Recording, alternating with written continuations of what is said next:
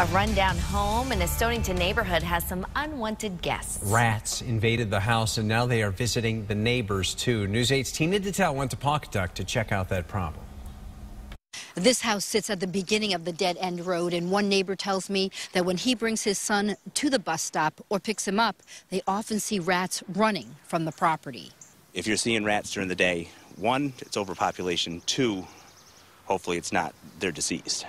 William Carroll says he and his son are now seeing what he believes are Norway rats on their property at the other end of Millan Terrace. The body is this big, with the tail as big as well. He has trapped quite a few. We blurred out this one caught next door. Neighbors want something done about the source of the problem. They say the woman who lives here and is now hospitalized feeds the rats we found that there is definitely some rat breeding on the inside and potentially on the outside of the, of the property.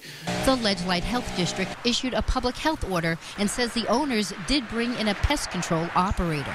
They have been known to carry diseases, and that's why we really want to try to get this from multiple approaches. The town's Human Services Department is looking how to help neighbors. But I just don't have that much scratch, especially for rats.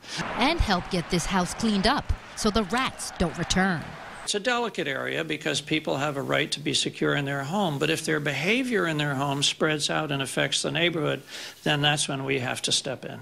On Friday, the health district is meeting with residents to talk about what they can do to keep the rats off their property. Things like getting rid of bird feeders, bird baths, trash, and other things that might attract them. And on garbage day, put it out the day of and make sure that bin is closed up tight.